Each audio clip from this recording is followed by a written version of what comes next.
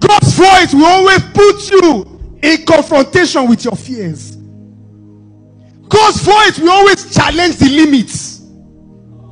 Are you hearing what I'm saying? It's simple. That's how I always knew it was God. It was never normal. In fact, if it's normal, I don't accept it. Some of you have heard me say that before. If it's normal, I delete it.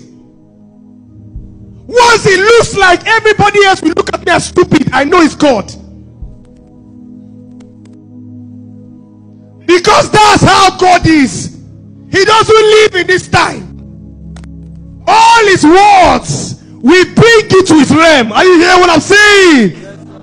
Only mad people use a stone to kill a giant. How can a giant confront an entire army for 40 days and you come with catapult?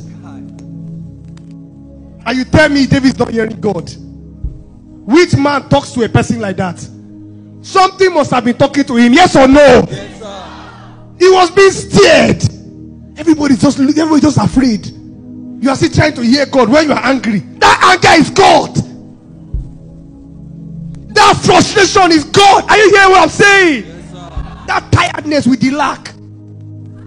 That anger that there's limit, limit, limit, limit. That's your anger is God.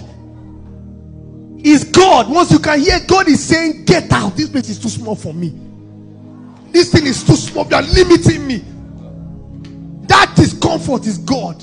And that's an opportunity. If you miss it, your children will come and fight the same battle.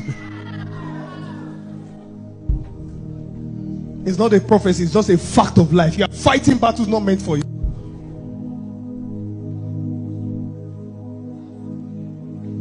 All the issues we are complaining about is because people forgot to fight battles.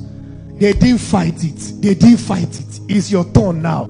You are still waiting to hear God, 20 something. You are still trusting God for His voice, for direction. The anger is not enough voice. All the limits steering you daily are not enough voice.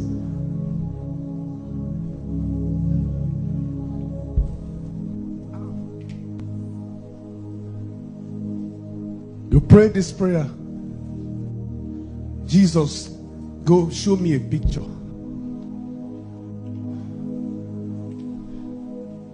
Show me a picture.